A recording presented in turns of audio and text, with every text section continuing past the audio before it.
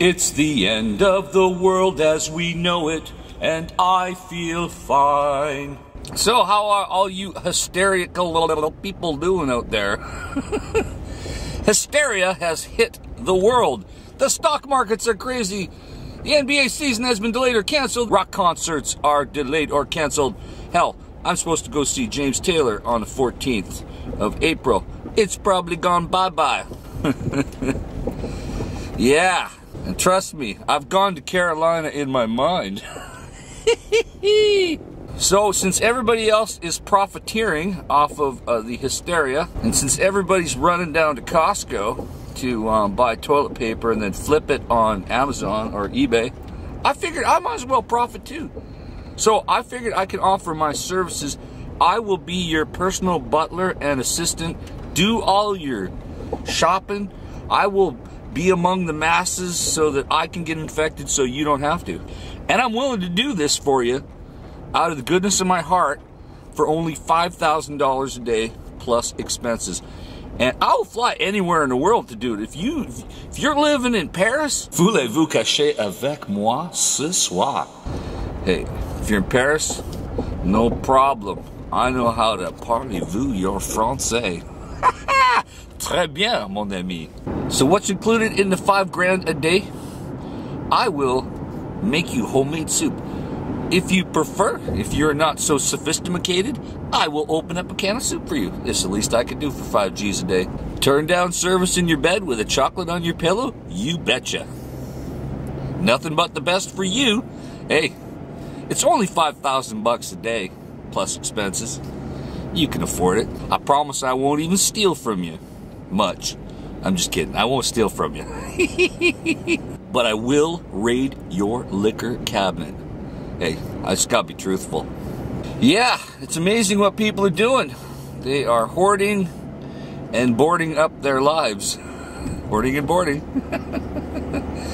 people are scared and acting stupid. What happened to the world? Everybody's like pussies. What's, hey, you get the virus, most people don't even know they have it. They have mild symptoms. Life goes on. Besides, people are too quick to think that humanity is not part of nature.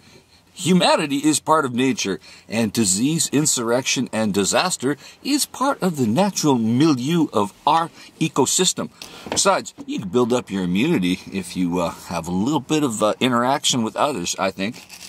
So I'm sure people are even booking their uh, virus uh, commingling parties. Almost like swinger parties. they put their keys in a hat and they all take a different key, but they're grabbing a different key to get a different virus, maybe. Not to take somebody else's wife home, if you know what I'm saying. What do you got to say about that, Sammy? Hey, I'm here to help. So, what y'all doing to uh, get ready for the end of the world as we know it?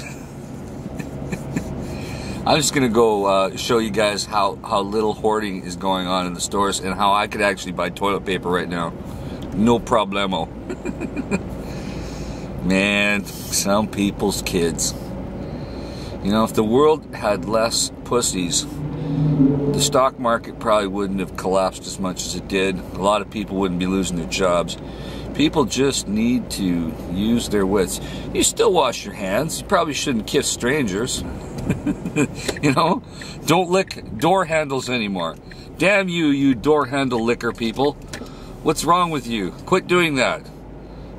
Everybody's got a fetish of some sort, a fetish or a phobia. Because everybody's a goddamn pussy or a freak or a weirdo. That's the way the world is nowadays.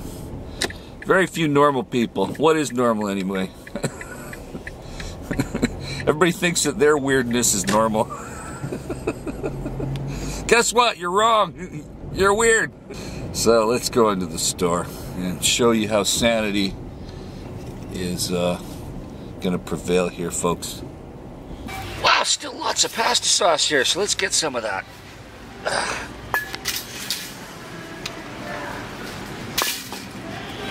Wow, where's the hysteria? Lots of beans left. Lots of beans, lots of canned goods, lots of stuff.